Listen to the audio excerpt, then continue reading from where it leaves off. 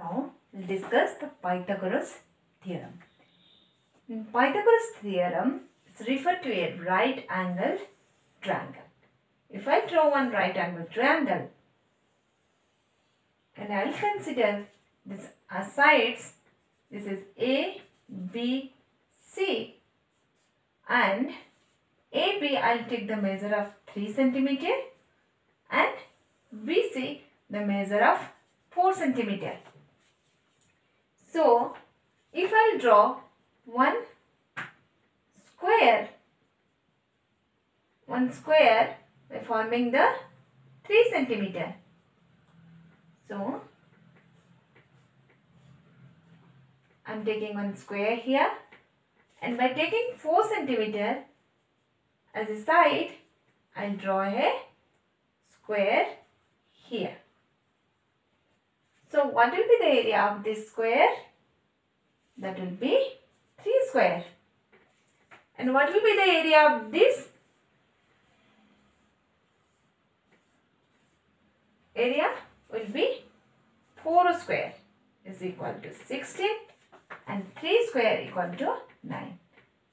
This area will be 3 square as a 9. So if you add these two area, so what we'll get that area, if we make this side as a square, this side as a square, then this area will be equal to the sum of these two areas. So if it will be 3 square is equal to 9 and 4 square equal to 16 then 9 plus 16 you are getting 25 is nothing but 5 square. So this area will be 5 square equal to 25. Understood? So this area the sum of the two areas will equal to the area of this side. So now here you can be able to know that the AC is known as the hypotenuse and it is the greatest side of this triangle because it is just opposite to the opposite side of the angle 90 degree.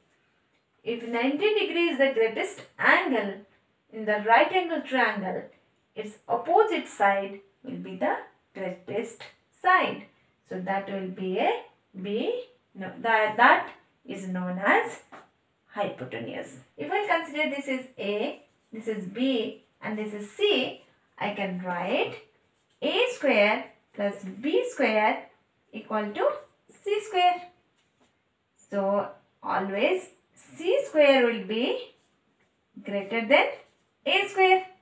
Then the C will be always therefore C will be always greater than A. If C square is greater than B square. So C will be always greater than B.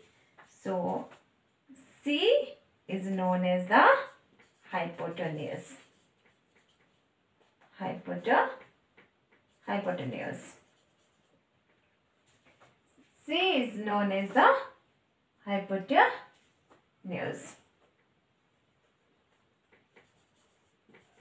C is known as the hypotenuse because it is the greatest side of this triangle, right angle triangle.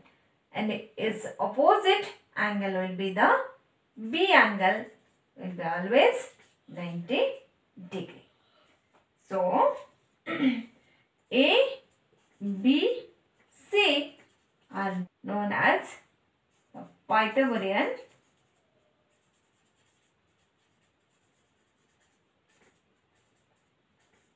triplets.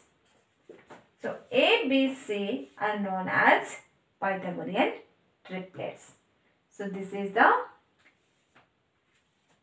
Pythagoras theorem.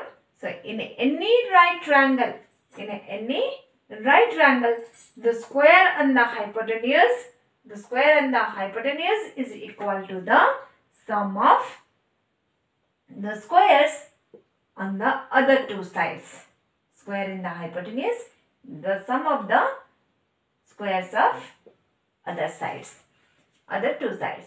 And if the square on one side of triangle is equal to the sum of the squares on the other two sides, then the angle contained by the two sides is a right angle. Reverse is true.